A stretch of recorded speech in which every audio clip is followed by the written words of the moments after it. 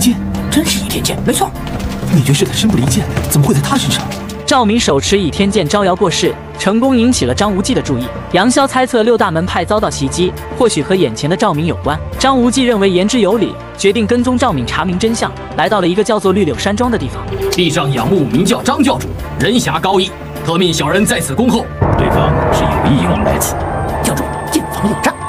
如果不进去，怎能解去对倚天剑的疑惑？张无忌见到玄冥二老。颇有几分熟悉的感觉，并未认出眼前的两人就是当年用玄冥神掌打伤自己的人。不过既来之则安之，张无忌答应了邀约，带着杨逍和韦一笑进入了绿柳山庄。赵敏早已准备好了酒菜，在山庄内恭候多时，并且说出了张无忌三人的姓名。姑娘能一一点出我们三个人的姓名，说明对我们的来历很清楚。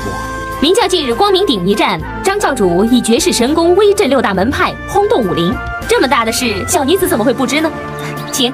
见赵敏对自己一行如此了解，张无忌的心中戒心大起。他入座之后，单刀直入，询问赵敏手中的倚天剑何处得来。赵敏没有正面回答，反而说出自相遇开始，张无忌三人就紧盯着倚天剑，不知道究竟是何缘故。张无忌表示，这把倚天剑原是峨眉派的灭绝师太所有，他自己也曾伤在倚天剑下。赵敏闻言，瞬间来了兴趣，询问张无忌力压六大门派，怎会伤在一个寂寂无名的峨眉女弟子手中？想必那位伤你的周芷若周姐姐，一定美若天仙。才会让张大教主失神，是不是？姑娘取笑了，呃，在下回敬赵姑娘。啊，不敢不敢。哎呀，赵敏故意将酒洒在了衣服上，致歉一番后要回房间换衣服，还特意带走了玄冥二老，刻意留下了倚天剑，给张无忌三人创造时机。韦一笑果然中计，拿起了倚天剑查看，却发现重量似乎不对，这剑怎么那么轻啊？哎，木剑，一股檀香味，的确是檀香木所制。教主，杨潇认为赵敏对他们知之甚详，十有八九是不怀好意。这绿柳山庄四处透露着诡异，他们留下还得时刻小心提防，不如赶快离去再做打算。张无忌赞同杨潇的看法，起身就要离开望月亭，却被玄冥二老叫住。原来是赵敏已经换好衣服，恢复了女装来见张无忌。教主，怎么要走了？张无忌这样的小眼神，一看就是被赵敏的美貌给惊艳到了。赵敏见张无忌要离开，并未出言挽留，因为她心里知道。张无忌不久之后就会回来。三人离开绿柳山庄后，韦一笑就吐槽起了杨逍，认为赵敏并无恶意，堂堂的光明左使竟然如此胆小。结果话还没有说完，韦一笑就瘫软了下去。紧接着杨逍同样如此，而张无忌有九阳神功护体，稍微运气便恢复了正常。他回想刚刚发生的一切，立刻找到了中毒的原因，嘱咐杨逍和韦一笑一定不要运功逼毒，否则神仙难救，必死无疑。随后张无忌动身离开，前往绿柳山庄寻找解药。赵敏见张无忌到来。不由得露出了得意的笑容。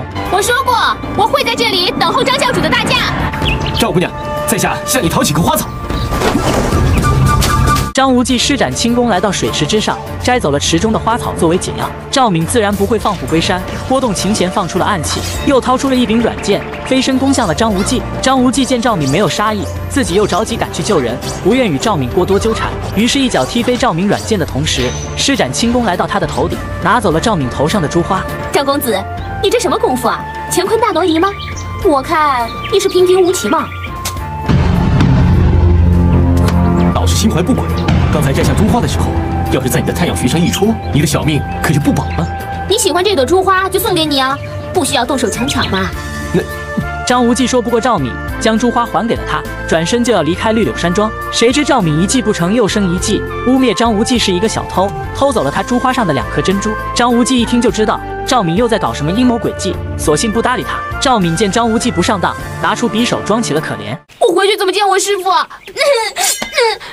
张教主，多谢你成全啊！